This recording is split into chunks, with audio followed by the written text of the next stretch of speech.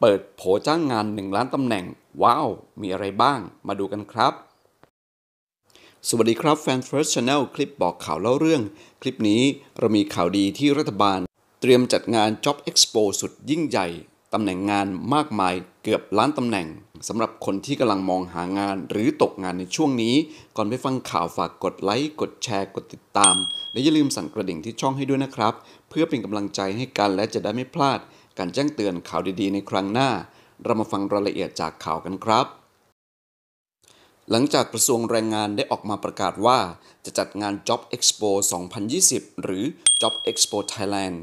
2020 ในระหว่างวันที่ 26 ถึง 28 กันยายน 2563 ณ ศูนย์นิทรรศการและการประชุมไบเทคบางนา โดยงานดังกล่าวมีวัตถุประสงค์เพื่อช่วยเหลือผู้ที่ว่างงาน ตกงานที่ได้รับผลกระทบจากโควิด -19 ส่วนตำแหน่งงานที่ถือว่าเป็นไฮไลท์ของการจัดในครั้งนี้ ทางกระทรวงแรงงานได้แจ้งว่า มีตำแหน่งงานว่างถึง 1 ล้านตำแหน่ง โดยแบ่งออกเป็นตำแหน่งงานว่างกรมการจัดหางานจำนวน 16,312 อัตรา ตำแหน่งงานต่างประเทศ 112,242 อัตรา ตำแหน่งงานพาร์ทไทม์จำนวน 66,881 อัตรา การจ้างงานโดยภาครัฐจำนวน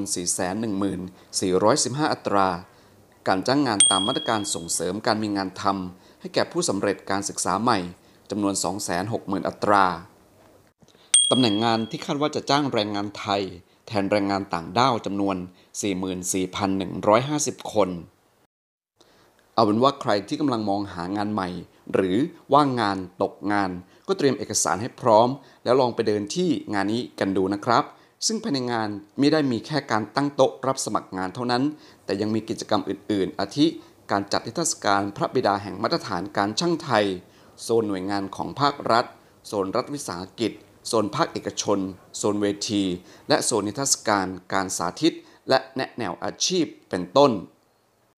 ขอขอบคุณแหล่งข่าวดีๆนี้จากฐานเศรษฐกิจนะครับและนี่ก็เป็นข่าวดีล่าสุดออกมาจากภาครัฐบาลที่เตรียมจัดงานเอ็กซ์โป เตรียมเปิดรอคอยสำหรับคนที่หางานทำหรือหางานใหม่ หลังวิกฤตโควิด -19 ผ่านพ้นไปนะครับ